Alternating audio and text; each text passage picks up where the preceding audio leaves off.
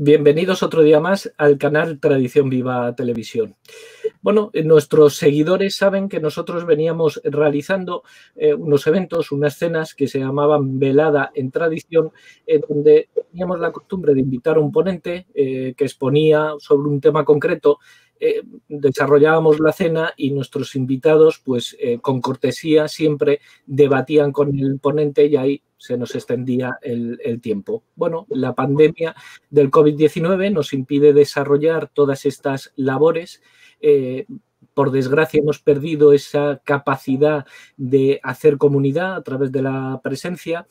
No contamos con nuestro eh, público y con el calor eh, de la gente donde siempre se intercambiaban impresiones que eran gratificantes para todas las partes, pero bueno, hemos decidido utilizar el canal YouTube para cubrir esas veladas en tradición y vamos a respetar un poco el formato que teníamos en esta nueva serie que empezamos ahora en el canal y que llamaremos eh, Veladas en Tradición Digital. Hoy contamos para inaugurar esta nueva temporada eh, con eh, el don Luis Alfonso García Carmona, presidente de Alianza Reconstrucción Colombia. El tema a tratar, eh, bueno, vamos a tratar de hablar de Colombia y propuestas para salvarlas del comunismo. Colombia tiene muchísimas semejanzas con España. Hay un blanqueo, una intención de blanquear el pasado violento y terrorista de parte del sector eh, social, que ahora está reconvertido en sector político. Eh, tienen el mismo peligro otra vez de ser abducidos por los regímenes comunistas. Ellos, Venezuela, evidentemente, y Cuba la tienen más cercana que España, pero el peligro no es menor en España que en Colombia, porque por desgracia esto es un movimiento internacional. Luis Alfonso García Carmona, para muchos colombianos, no necesita presentación, pero dado que mucho de nuestro público es español, chileno, mexicano, vamos a procurar hacer una brevísima eh, introducción de quién es don Luis García Carmona. Digo brevísima porque es un hombre que se ha caracterizado desde luego por una gran presencia política y pública en Colombia y, bueno, hacer un recorrido por su eh, currículum eh, vitae puede ser eh, largo y extenso. Luis Alfonso García Carmona es doctor en Derechos y Ciencias Políticas de la Universidad de Antioquia, de Medellín, también tiene otros estudios, planeación del desarrollo y administración de empresas y ha desarrollado, como decía, numerosos cargos públicos de juez municipal en Palmira, jefe de instrucción criminal y vigilancia judicial en, Antioquia, procurador del Distinto Judicial de Antioquia, secretario general de Empresas departamentales también de Antioquia, secretario general de Gobernación, secretario de Gobierno departamental y gobernador encargado de Antioquia, fiscal, eh, presidente de la Asociación Colombiana de Empresas de Servicios Temporales. Bueno, como vemos, su currículum es largo y extenso. Bueno, para ponerle un fin, eh, es autor de dos obras importantísimas para eh, la primera de ellas, desde luego, para reconocer y conocer y profundizar en la situación actual de Colombia, Reconstrucción Nacional, y como jurista, pues tiene una obra, Bademecum Jurídico, también de recomendada lectura columnista de varias publicaciones virtuales como La Linterna Azul, Debate, Colombia News y recientemente eh, es uno de los colaboradores en Tradición Viva que nos reporta eh, sistemáticamente y puntualmente crónicas puntuales de la situación realmente de emergencia nacional que vive Colombia, eh, que ya empieza a preparar su defensa ante las próximas elecciones de 2022 que se antojan sumamente importantes. Pues bueno, sin más, bienvenido Luis Alfonso. Muchas gracias, don Carlos, por su generosa presentación y por esta amable invitación para dirigirme a tan selecta audiencia. Eso me, brinda, me brinda la oportunidad de recordar una parte importante de mi juventud, puesto que tuve la inmensa eh, fortuna de pasar por las aulas del Instituto Nacional Ramiro de Maestro, del cual recibí el título de bachiller. Bueno, ya pasando al tema de fondo, usted ha hecho ya una, un exordio muy importante sobre la situación.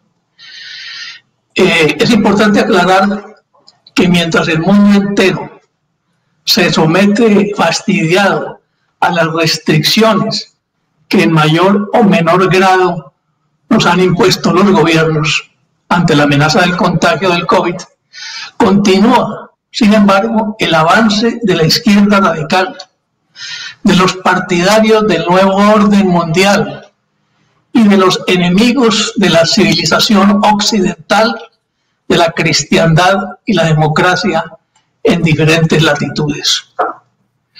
Por ello, en cuanto el tiempo nos lo permita, nos referiremos a la actual situación política y social de mi país, a la amenaza que supone el avance del Foro de Sao Paulo y del comunismo, y a las soluciones que propone el movimiento Alianza Reconstrucción Colombia para evitar la caída de Colombia en las garras del social eh, comunismo de Castro, de Maduro, de Chávez y compañía.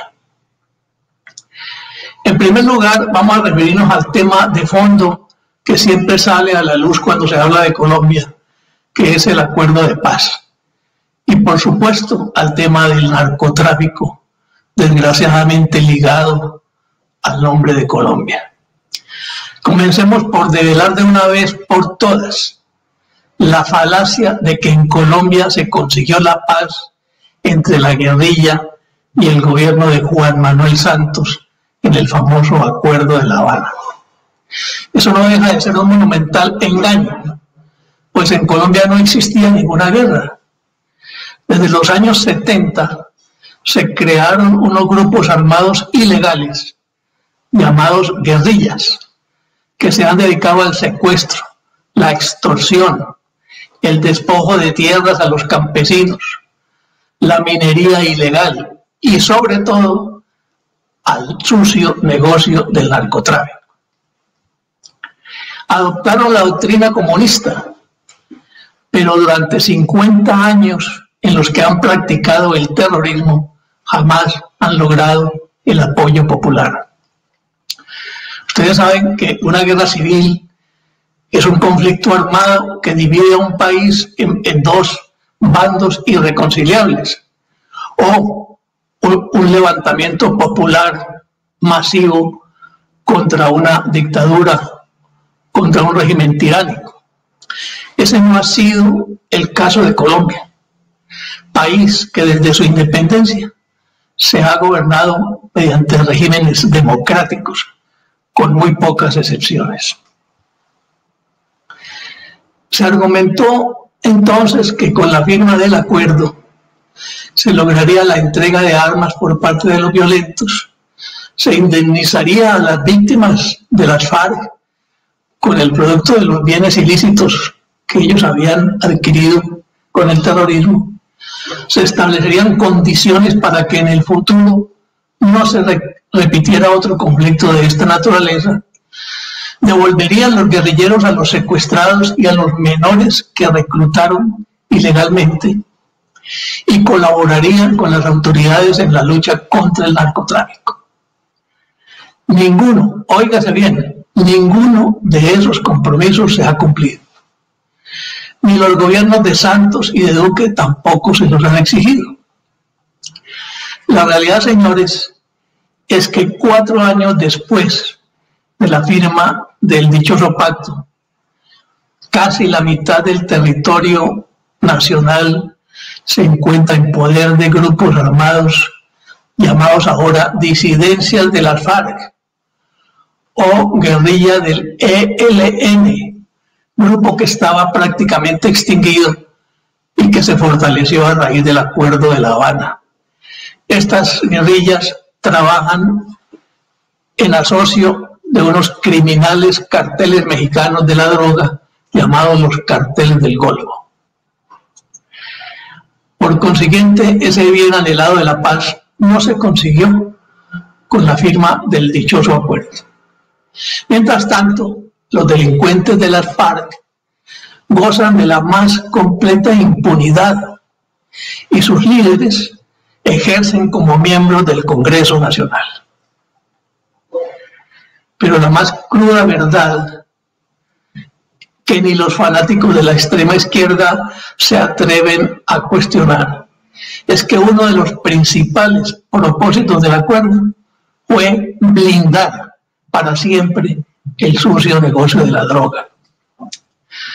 Cifras del gobierno americano nos dan cuenta de que en el 2010, al terminar la administración del presidente Álvaro Uribe Vélez, el área cultivada de cocaína había descendido a su más bajo nivel, que eran 62 mil hectáreas.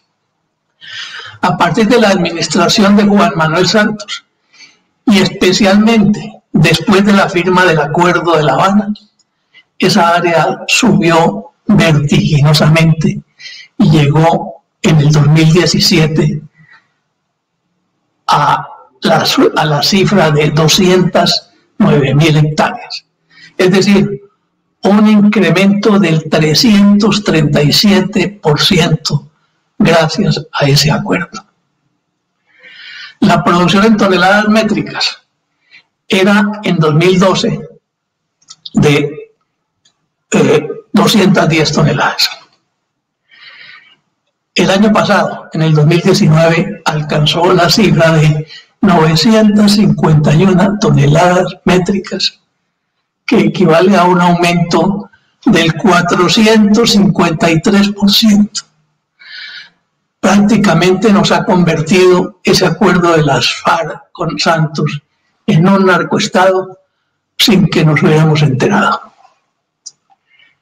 Y esto es una lógica consecuencia de haber eliminado la aspersión aérea con glifosato, eliminado la extradición de los cabecillas a los Estados Unidos, eliminado la extinción de dominio de los bienes ilícitos de las FARC, y haber implantado un tribunal denominado la Justicia Especial de Paz, hecho a la medida de los narcoguerrilleros para otorgarles impunidad en forma ilimitada. Y ya que hablamos de justicia, este es otro tema íntimamente ligado que vale la pena explicar parte de la descomposición que sufre la sociedad colombiana tiene su origen en una total ausencia de justicia. Y un Estado sin justicia, como ustedes lo saben, no es un Estado viable. Ese deterioro del aparato judicial se ha cumplido a lo largo de varias décadas, de la mano de la penetración del marxismo en las escuelas de derecho y, por supuesto, en el órgano judicial. De otro lado, desde la constituyente de 1991, se otorgaron excesivos poderes al aparato judicial, que lo han convertido en una verdadera dictadura judicial que usurpa funciones tanto del poder legislativo como del poder ejecutivo la ausencia de un sistema independiente que supervise, investigue y juzgue a los funcionarios judiciales ha generado una corrupción manifiesta en fallos marcados por la intención política de los jueces o inclusive por la vil compra de sus providencias. Recientemente, nos hemos conmovido los colombianos con tres casos que vale la pena mencionar.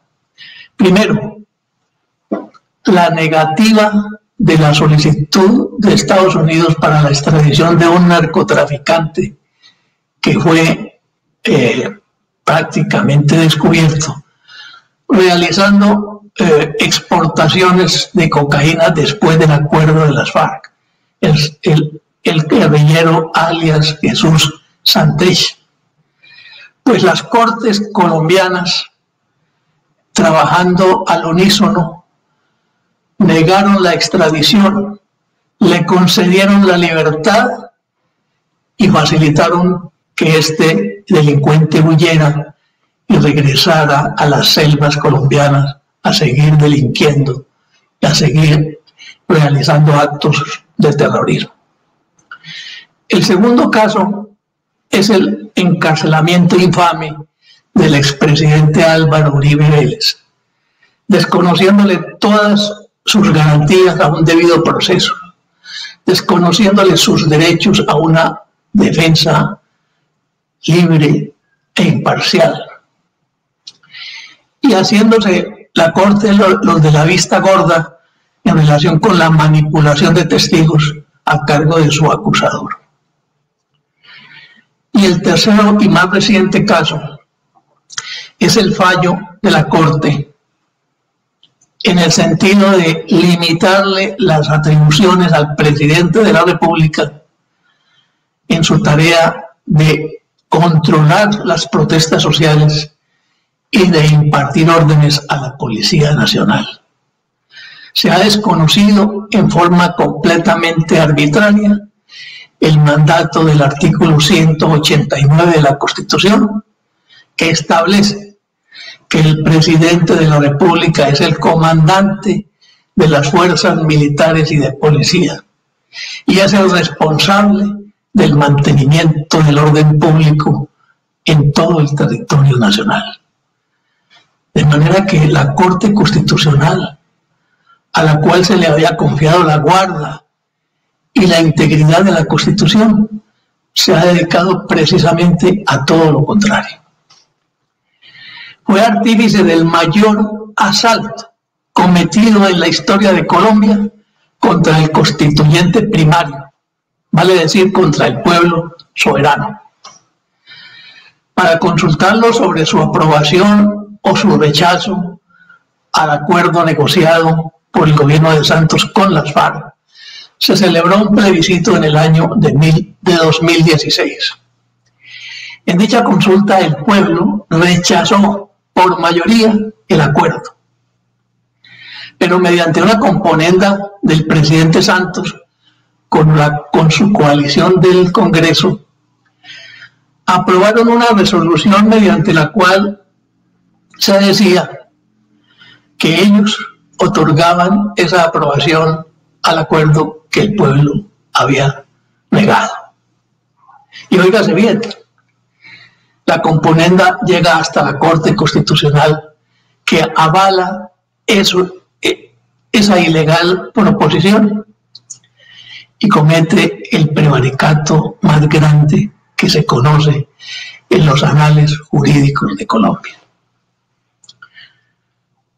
Como consecuencia de este aberrante hecho, toda la normatividad que se ha eh, dictado para implementar el acuerdo es completamente espuria.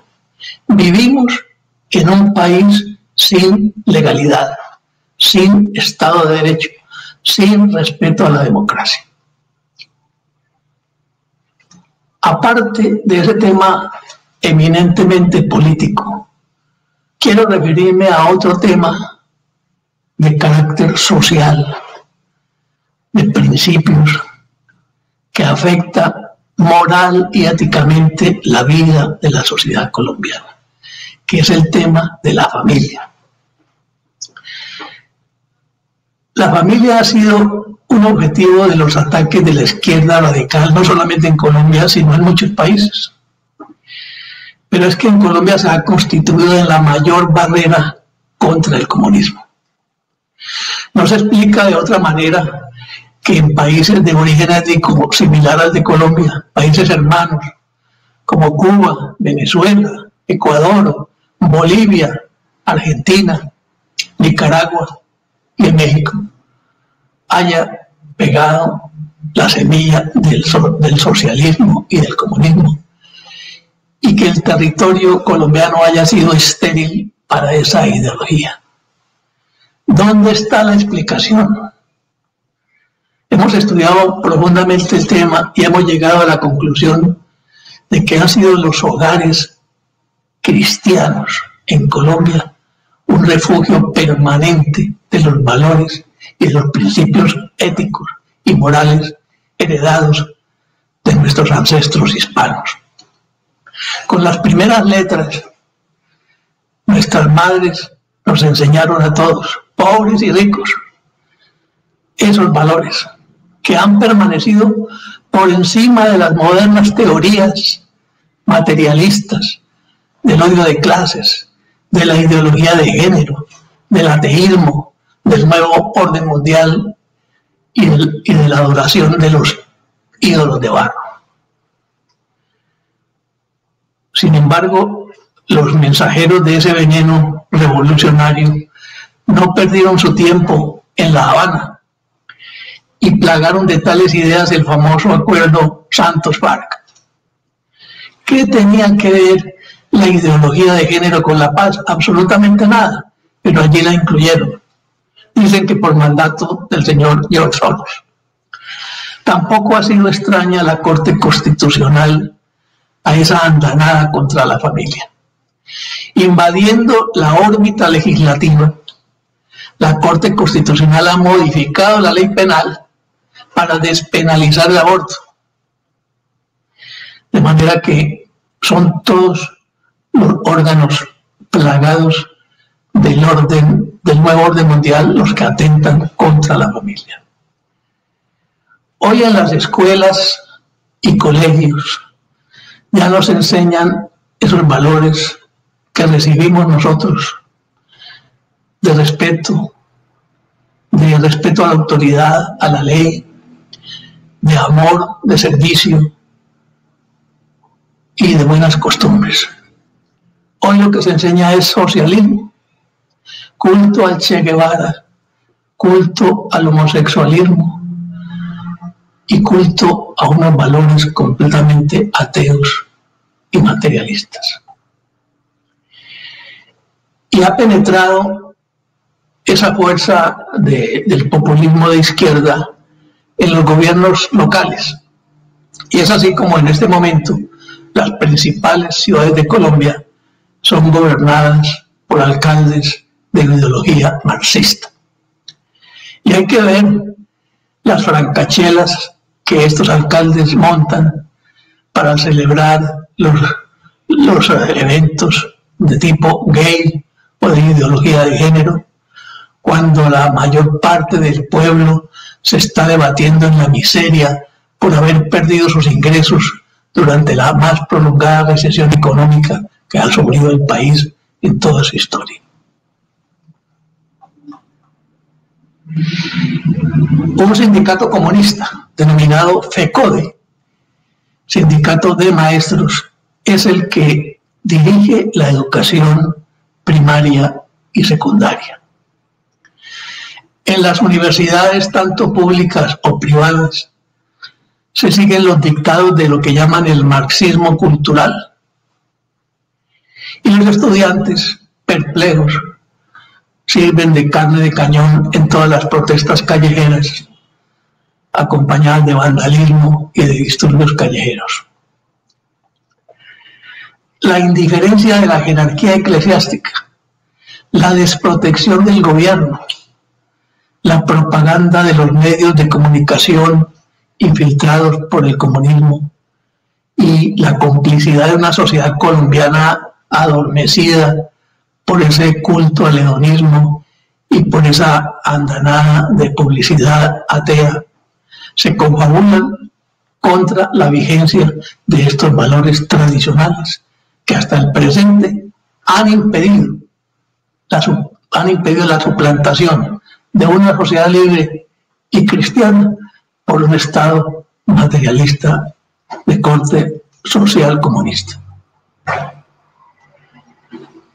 Uno de los temas recurrentes cuando se habla de Colombia es el tema de la paz, que mencionaba yo ahora, porque la paz fue un mascarón de prueba para instaurar contra la voluntad del pueblo un claudicante acuerdo con los narcoterroristas.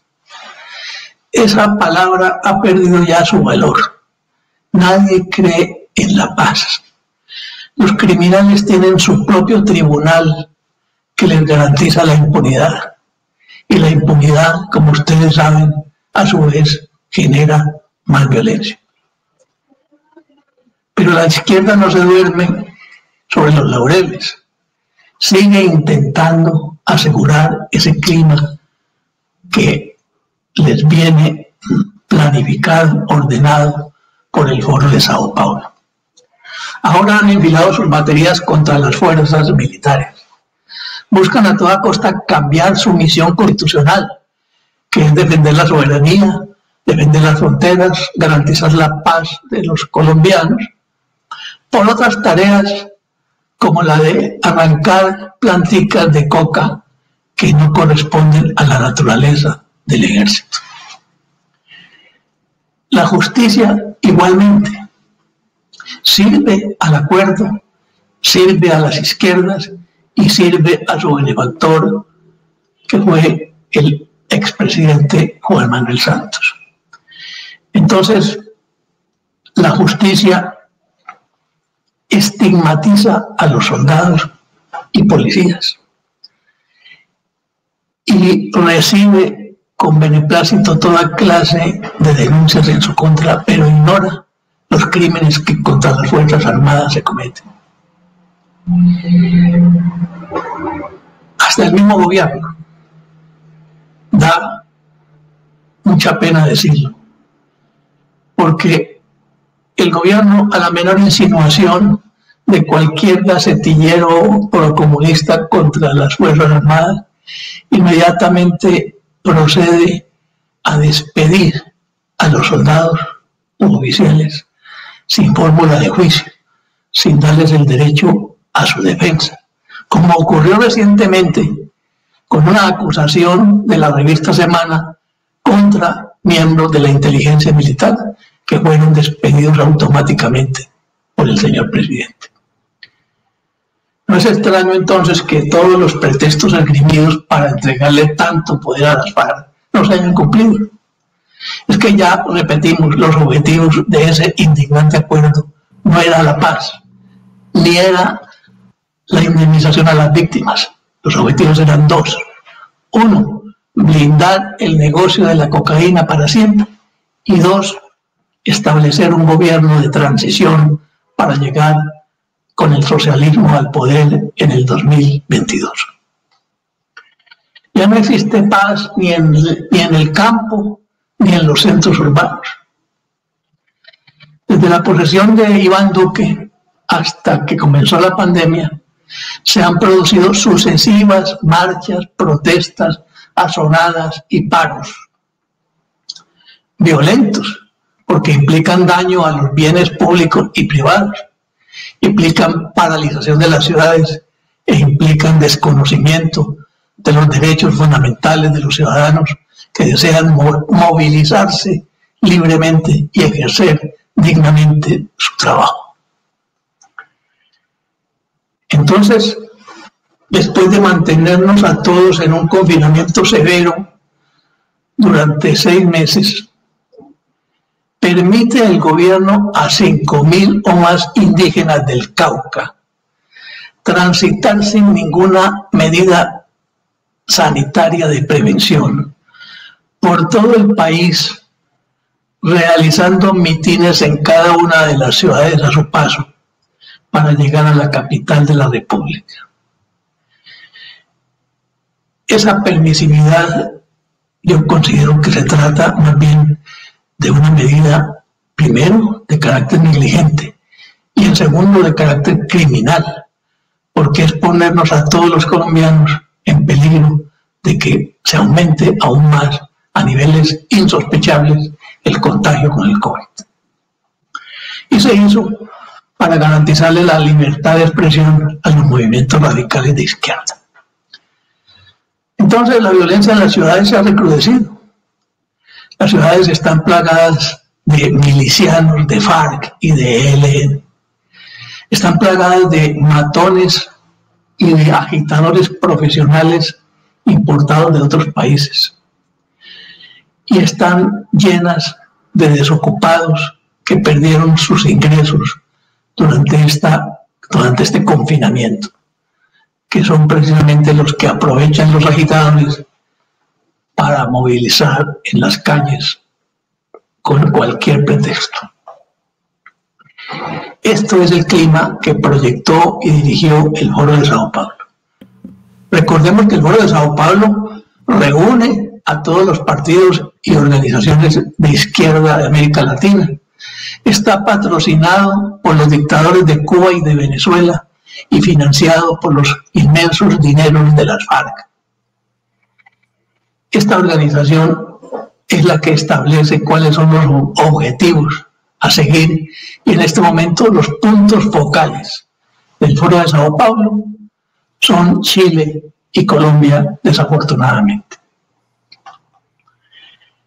Y llegamos a un punto que toca las fibras de todo el mundo, que es el tema de la crisis económica.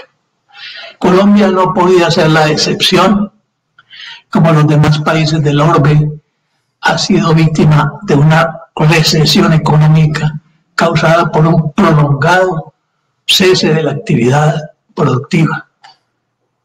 Donde más se profundiza ese deterioro económico es en la privación de ingresos a gran parte de la población activa. La tasa de desempleo, que era en septiembre del año 2019 del 10.2%, pasó al 15.8% en septiembre del 2020. O sea, un aumento del 5.6%, que representan millones de nuevos desempleados. Preocupa igualmente el endeudamiento, porque un país no puede endeudarse indefinidamente. Ya venía Colombia con un endeudamiento bastante elevado gracias al derroche y al despilfarro del gobierno del doctor Juan Manuel Santos. Pero a raíz de la pandemia hubo que hacer, eh, pues tomar medidas extraordinarias poner eh, a tono el sistema de salud para atender esta nueva emergencia. Y entonces el endeudamiento público, señores, en Colombia llegó a su máximo histórico, que fue de 146 mil millones de dólares, que equivalen al 49.7% del Producto Interno Bruto. Y nos anuncia el gobierno que para atender la población que ha perdido sus ingresos y para atender la multitud de empresarios que han llegado a la bancarrota, seguirá el gobierno endeudándose hasta llegar posiblemente al 70% del PIB en los próximos meses. Complementa este oscuro panorama el descenso en las exportaciones, Colombia es un país que vivía fundamentalmente de la eh, exportación de productos de la minería y en parte de la agricultura. Pero la baja de los precios del petróleo nos ha causado, eh, eh, desafortunadamente, un golpe muy grande a las exportaciones. Aparte de que la recesión económica del mundo entero hace que los compradores ahora serán menos y, sus compras mucho menores. Ese es el panorama, pues, señores, para las próximas elecciones que se realizarán en el año 2022, donde se elegirá por cuatro años al Congreso Nacional y al nuevo presidente, o sea, del 2022 al 2026. ¿Cuáles son las perspectivas mirada desde un punto estrictamente objetivo. En primer lugar, se presenta un movimiento de, izquierda fortalecido por la agresiva campaña callejera, porque ha movilizado a los sectores más vulnerables de la población con su argumentación de siempre del odio de clases, por, por propuestas impracticables desde el punto de vista presupuestal, por la estigmatización al gobierno y a los líderes de centro y por la irresponsabilidad para calumniar a diestra y siniestra. esos candidatos que pueden ser la alcaldesa actual de Bogotá, Claudia López, o los señores Sergio Fajardo o Gustavo Petro, tienen en las encuestas un lugar preeminente en estos momentos. De otro lado está el movimiento que es adicto al expresidente Santos, movimiento que tiene una gran representación parlamentaria y también inexplicablemente una gran cuota en la burocracia del gobierno de Duque. Ese movimiento jugará un papel importante mediante alianzas para llevar alguna persona de su grupo. A la baja se presentan los movimientos de centro o derecha, que son el Partido Conservador y el Centro Democrático. Y digo que a la baja porque sufrieron una estruendosa derrota en las pasadas elecciones regionales en el año 2018. Y esa tendencia no creo que sea fácil de revertir en, de aquí al, año 2022. Ha pesado sobre este sector el desprestigio del gobierno de Iván Duque, que ha preferido gobernar más con el santismo y tolerar todas las campañas de la izquierda que ejercer como miembro del Centro Democrático una política que esperábamos hiciera realidad de acuerdo con las promesas de la campaña electoral. En otras palabras, el Centro Democrático es un partido de gobierno sin gobierno y eso le va a pasar factura en las elecciones. Otros factores que van a pensar seguramente son las millonarias sumas de dinero de las FARC que se pondrán al servicio de los candidatos de izquierda.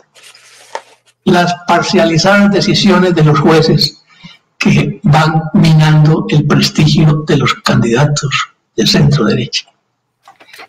Y por último, la infiltración de la izquierda en los medios signados por ese veneno del marxismo cultural. Entonces, ante este panorama, resolvimos un grupo de ciudadanos despertarle al país, despertar al país sobre el peligro que lo amenaza. Y creamos el movimiento Alianza Reconstrucción Colombia.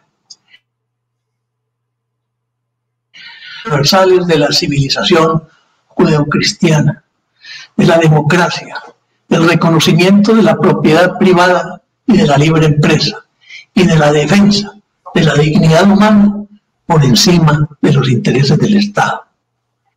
Ya en cuanto a la coyuntura política actual, social y económica de, Colombia, proponemos un programa de gobierno concreto que voy a poner, voy a tratar de resumir en 10 puntos. Uno, abolir el acuerdo Santos-FARC por ser manifiestamente inconstitucional.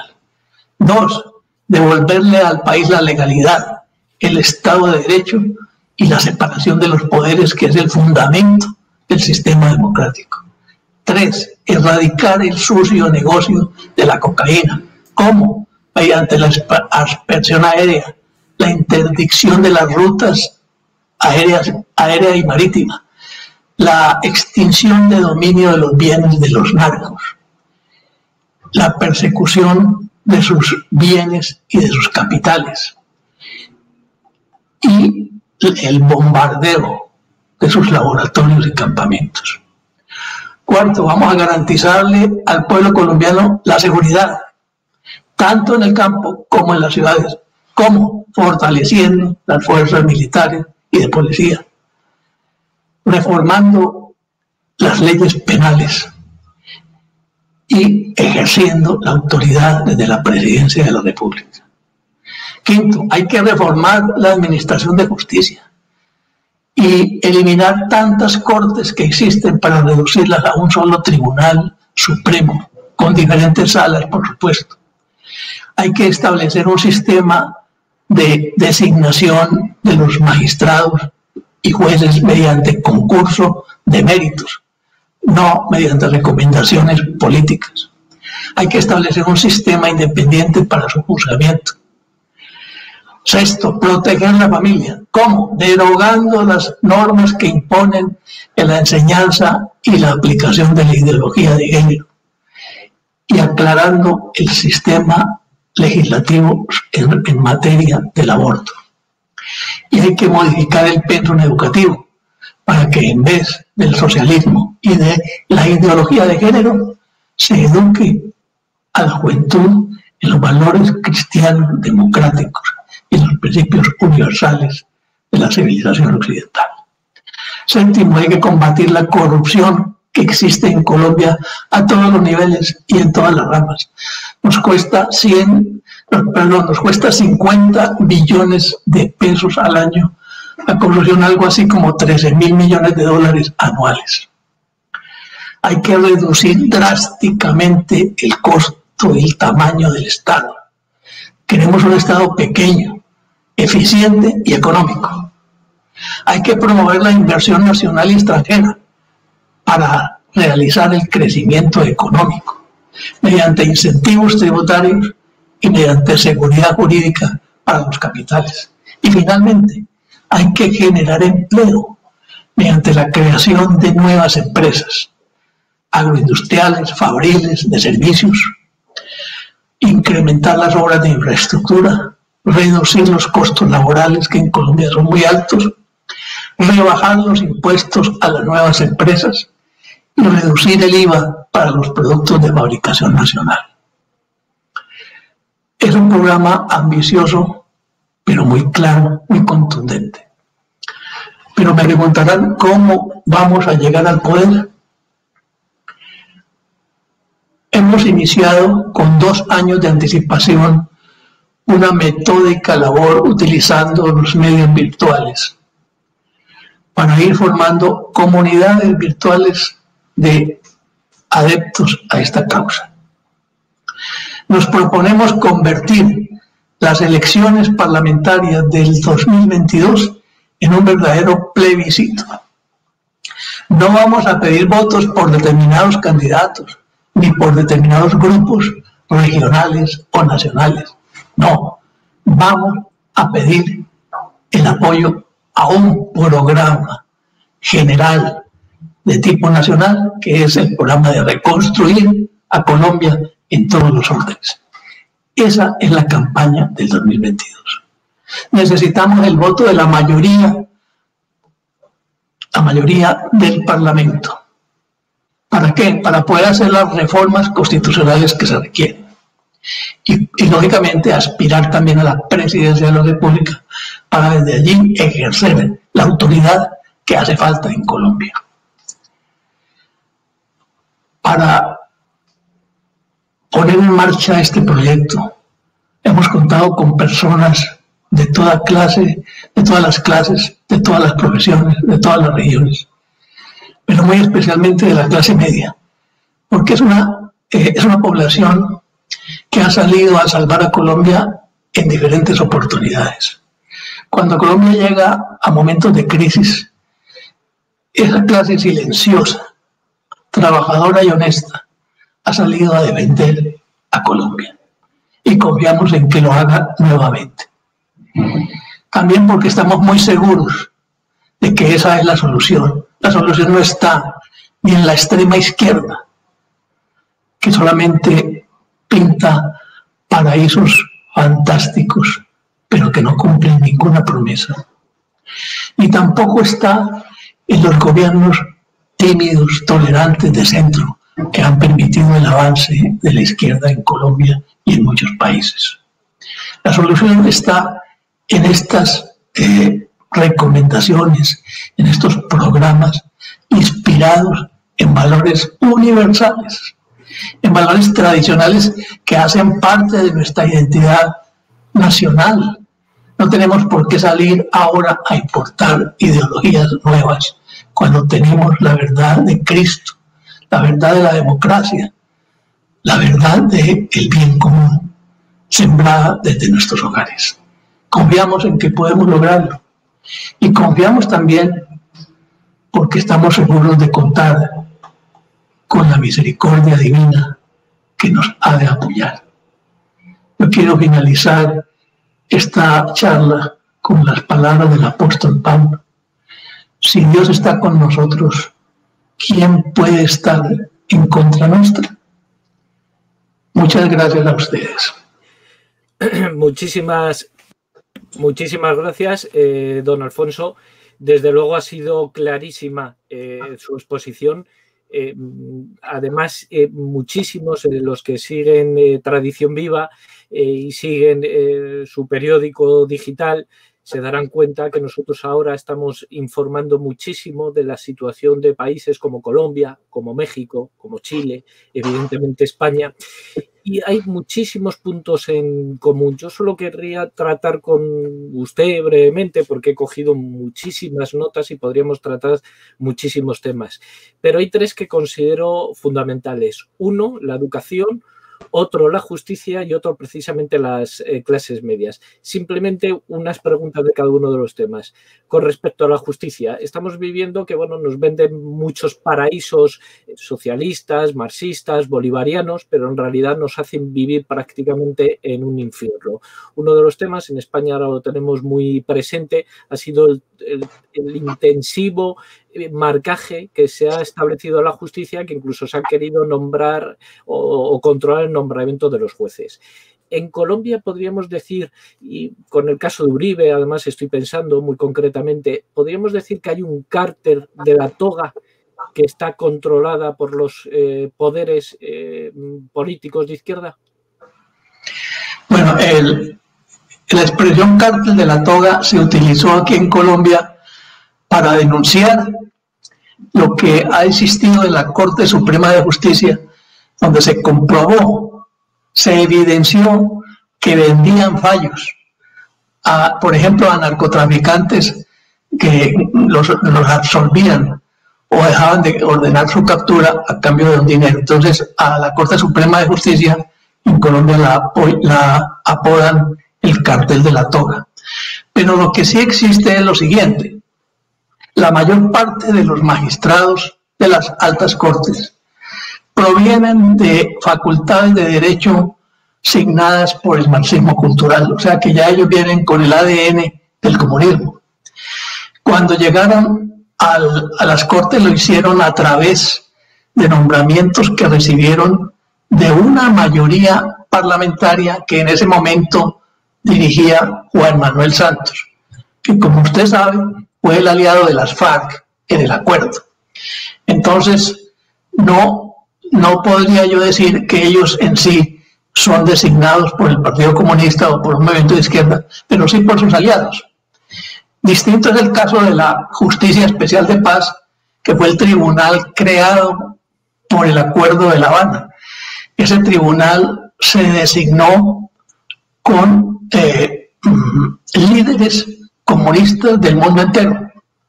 O sea, personajes de la ETA, de, los montoneros y de todos los movimientos de izquierda participaron en la elección de esos magistrados. Ellos sí tienen un origen plenamente comunista.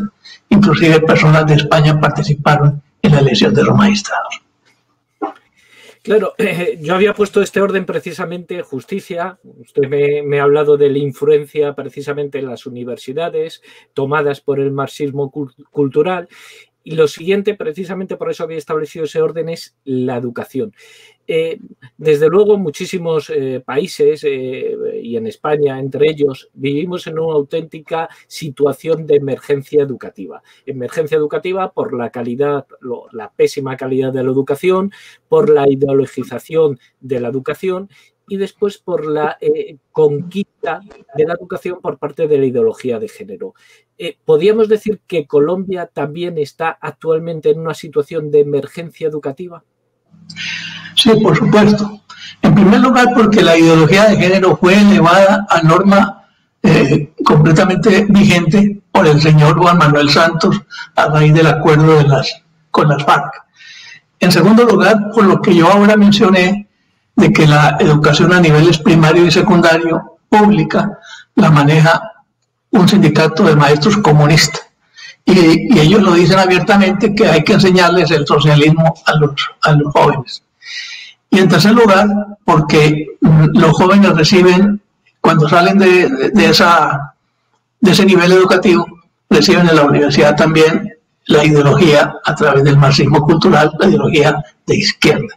O sea que sí estamos en un grave peligro desde ese punto de vista. Pero además, no solamente desde el punto de vista ideológico, sino desde el punto de vista del desarrollo. La educación nuestra está en contravía del desarrollo. Nosotros tenemos, por ejemplo, multitud de abogados, pero nos hacen falta técnicos, ingenieros. O sea, hay que acondicionar la, educación a las necesidades del desarrollo económico. Tenemos que hacer un gran esfuerzo por llevar la educación a las zonas rurales. ¿Cómo? Mediante los medios virtuales que ya existen en el mundo entero. En tercer lugar, tenemos que hacer énfasis en materias prácticas que le sirvan al, joven para optar no solamente puestos eh, de trabajo, sino para montar empresas, ser, ser un verdadero emprendedor por su cuenta. Entonces hay que hacer énfasis en la tecnología, en, la informática, en los sistemas de comunicación electrónica, en idiomas, estamos muy atrasados en idiomas, y por supuesto sin desconocer la enseñanza de los valores y de las humanidades. Desde eh, nosotros, por ejemplo, de Tradición Viva, siempre defendemos la idea de crear una aristocracia eh, antirrevolucionaria, entendida aristocracia como eh, grupo de personas formadas con capacidad precisamente para influir. Y le comento esto porque ha citado usted en, su espléndida ponencia, hablo de usted de las clases medias, incluso yo a lo mejor hablaría de las cada día menos eh, numerosas clases medias, porque considero que uno de los problemas importantes es que se está laminando, se está atacando a la clase media, que es a fin de cuentas el motor de, cualquier sociedad. Tienen la suficiente independencia económica como para enfrentarse al poder constituido, tienen la suficientemente formación intelectual para imponer o tratar de reconducir las derivas de sus países y eh, claro, en esta situación hemos hablado de esa emergencia educativa y hemos hablado de esa crisis económica. ¿No cree usted que en el fondo late una intención precisamente de acabar con las clases medias, eh, tanto en Colombia como en prácticamente en todos los países, para hacer de la población un sujeto pasivo que no se resista ante estos avances revolucionarios que nos quieren imponer desde el socialismo? Claro que sí. El fin del socialismo, eh, inclusive en los últimos años, ha sido el de la pauperización de la población en general, es decir, convertir a las clases medias en clases proletarias y convertir a la mayor parte de la población en una dependiente de los subsidios del Estado. Ahora con el, con el eh, pretexto de la pandemia, han tratado las izquierdas de instaurar que, los, eh, que las clases en general, medias y pobres, dependan de un subsidio universal por parte del Estado. Y ese subsidio los va a convertir en esclavos, que no, eh, no, no van a tener ningún futuro diferente al de esperar cada mes el cheque o el, o el, abono del gobierno. Entonces, ese es uno de los objetivos que están creando, que es la renta básica universal para todos para castrar la creatividad y el empuje de las clases medias. Bueno, eh, pues eh, don Luis Alfonso, lo primero es eh, agradecerle su presencia y desde luego queda usted invitado cuando acabe esta pandemia, si algún día sus viajes recala por España, en, tener esa reunión física, porque es importantísimo, los medios virtuales pueden sustituir, pueden acrecentar, pero es importante crear una, una comunidad. De ahí la importancia precisamente de Alianza Reconstrucción Colombia, eh, que trata de crear precisamente esa, esa comunidad que nos haga defender los valores en los que creemos y que están siendo sumamente atacados. Con lo cual, agradecerle su aportación, agradecerle su compañía y eh, eh, invitarle eh, a, mantener en su día una cena con nosotros que será desde luego muy bien acogido. Pues muchísimas gracias, don Alfonso. Yo le agradezco mucho la invitación y le cuento que para mí sería muy grato porque cada vez que he podido regreso a recordar esos momentos que viví en España Quisiera así hacerlo la próxima vez como presidente de la República. Muchas gracias. Pues muchísimas gracias a usted. Buenas noches. Muy bien.